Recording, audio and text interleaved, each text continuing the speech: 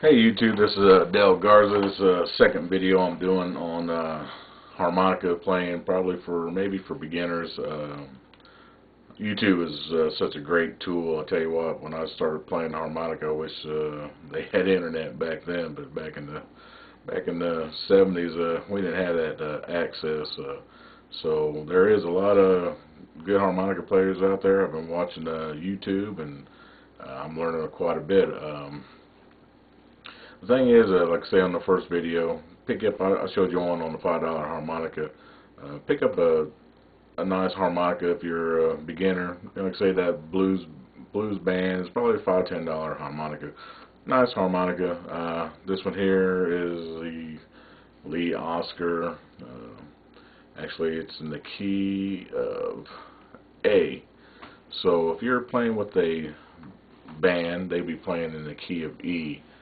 Uh, something I didn't know back when I first started out. Uh, I used to drive people nuts when I first got a harmonica and started playing. What I did, I just, like I said, got it, put it in my pocket, took it everywhere I went, uh, kept playing and playing. Uh, joined the Army uh, back in 1980 and uh, took it in boot camp and I drove everybody nuts in there, uh, learn, trying to learn how to play. But uh, thing is, best thing I can say is uh, pick up your harmonica and practice.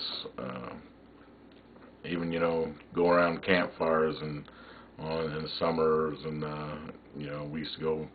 Uh, me and another buddy played harmonica, and we'd uh, sit around a trash can, play trash can blues or whatever, you know.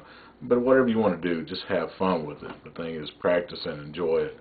Um, I didn't know a whole lot about. Uh, harmonicas, watching on YouTube, I've seen a lot of people and how they hold it, you know. So I, I'm no expert. So you know, I grab a harmonica, I might, I might hold it like that, might hold it like that.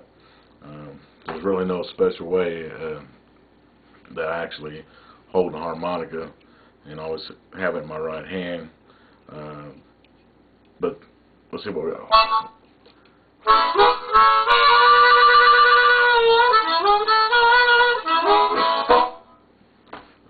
Watching this other guy, and he was showing uh, different techniques uh, with the tongue and stuff like that. I don't ever use my tongue. Uh, I guess I kind of just do the draw in and out. Uh, say I'm no expert on uh, playing harmonica, but the thing is, uh, if you're just wanting to learn, pick one up. That's the best advice I can give somebody out there uh, if you're learning to play harmonica and want to learn how to play it.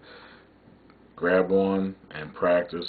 Take it with you everywhere you can uh, and just start playing. My thing is, is blues. There's other kind of uh, things out there people might play, uh, different styles of uh, music, country. Uh, uh, one of the guys I I would suggest uh, listen to. His name is uh, Darrell Mansfield, uh, great harmonica player, and the late great uh, Terry McMillan is a really excellent harmonica player. Uh, uh, Darrell Mansfield, I had the honor to, uh, when I was back in the radio station and played on the radio station, uh, had him as one of my guests, uh, an awesome blues player, a Christian blues player. Awesome. Uh, you need to check him out. It's Darrell Mansfield. But uh, best thing to say, practice and enjoy. Grab your harmonica and just do whatever you feel. Comes with the feeling.